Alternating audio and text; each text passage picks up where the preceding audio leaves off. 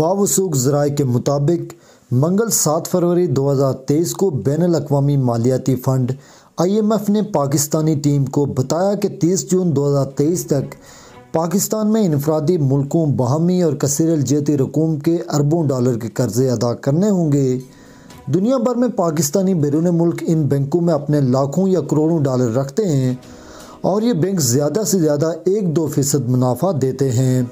इस तरह state bank of Pakistan में अब तक बड़ी तादाद में non resident dollar amnesty account खुल चुके हैं। पाकिस्तान के अंदर मौजूद पाकिस्तानियों को स्टेट बैंक ऑफ़ पाकिस्तान के अरबों डॉलर खुलने की पेशकश की जा रही है। इस तरह स्टेट बैंक ऑफ़ पाकिस्तान पाकिस्तानियों के डॉलर अकाउंट्स खुलवाएँगे। इन अकाउंट्स के बारे में कोई सवाल नहीं पूछा जाएगा। फौरी तौर पर पाकिस्तान के ज़र मुबादला की ज़रूरियात को पूरा करने के लिए मुहब वतन हल्कों ने तीन तजावीज़ दी हैं, जिनमें कहा गया है कि स्टेट बैंक नॉन रेजिडेंट पाकिस्तानियों की तरह पाकिस्तान के अंदर मौजूद लोगों को स्टेट बैंक में अपने अकाउंट खुलवाने की इजाज़त दें और उनको साढ़े सात फ़ीसद सालाना मुनाफा देने का फ़ैसला किया जाए। ये बैंक अकाउंट्स पाँच साल की मियाद के लिए होंगे।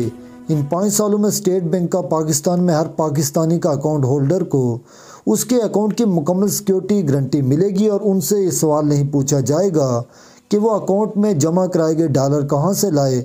इस तरह ये dollar amnesty scheme state bank के साथ बन जाएगी। जराए के मुताबिक स्टेट बैंक ऑफ़ पाकिस्तान में इस तरह पाकिस्तान के पास अगले माह तक अरबों डॉलर जमा हो जाएँगे।